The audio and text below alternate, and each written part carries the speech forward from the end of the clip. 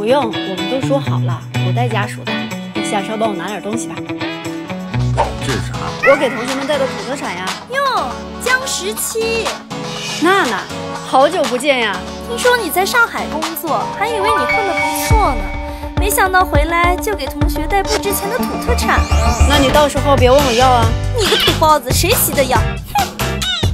别搭理他。你说的土特产是 LV 啊？巴黎土特产吗？喂，校长。十七，感谢你为学校捐款一百万，我想请你回学校演讲。不用了，校长，我只是想感谢一下母校，不想太招摇。不愧是我喜欢的，格局就是大。我先走了。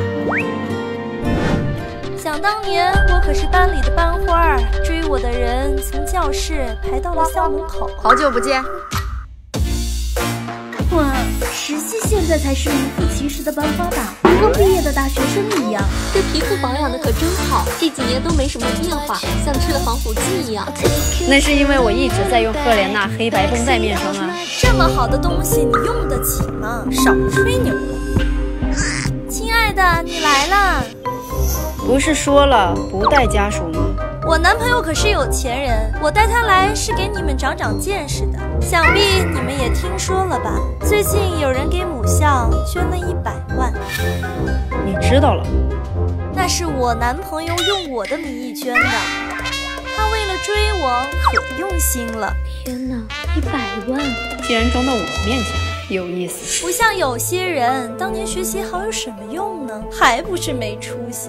哎，江十七，你来参加同学聚会就是为了白吃白喝吧？我给大家带了礼物。哦，你带土特产了是吧？快拿出来给大家看看，是带的土豆还是黄瓜呀？我从巴黎出差回来，给大家带了点小礼物。这司机可贵呢，十七好大方呀！哇哇哇！我的呢？刚才不是有人说他不稀罕吗？怎么又稀罕了？江十七，你为了买这些礼物花了你几个月的工资啊？真是打肿脸充胖子。那就不用你操心了，都是你给大家带了什么礼物啊？今天这顿饭我男朋友请客，可比你那几条破丝巾贵多了。这个地方很贵哎，你确定吗？那当然了，我男朋友都能捐一百万，这点小钱牙缝里掉出来的都比这个多。那既然你都这么说了，那等会儿这个饭店最贵的那道菜上了吧？行啊，服务员。买单，江十七，忘了跟你说，你的那份要自己付哦。哎呀，都是老同学，何必呢？江十七，如果你现在低下头来求我，我还能放你吗？不用了，这是你们店的贵宾卡，刷卡。小姐，这张卡用不了，我去问一下经理。笑死了，人家这的贵宾卡都是黑色的，你拿张彩色的，你糊弄谁呢你？大家快来看呐！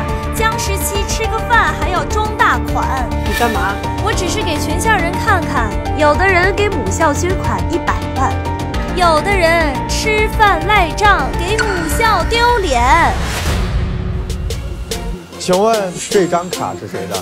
哎，是他的。他拿张玩具卡假装贵宾买单，赶紧把他赶出去！快快快！想必您就是江女士了。我们老板交代过，持有钻石级贵宾卡的人就是我们饭店最尊贵的客人。你说什么？我们老板大学创业时，江女士是唯一投资人，没有她就没有我们店的今天。您今天所有的消费一律免单。不用了，这位小姐刚才说她要请客，我就付我的那一份，其他的。找他们付，请您结账。个十百千万，你要我命啊！清酒炖半头鲍十份，总价是……哎，我没钱，你自己付。你不是能捐一百万吗？你怎么会没钱呢？你说的那一百万，应该是我捐的吧？那一百万是你捐的，你敢骗我？谁让你爱慕虚荣啊？你跟我没关系啊。你干嘛？我也给大家看看啊，都是老同学。有人给母校捐款一百万，有人吃饭赖账，给母校丢脸。